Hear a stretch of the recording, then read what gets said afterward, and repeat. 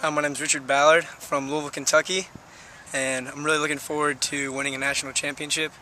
And something interesting about me is that my coach actually played here and graduated from IU.